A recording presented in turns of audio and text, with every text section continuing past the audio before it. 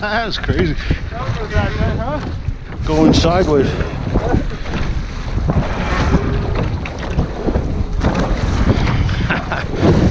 Cold for that.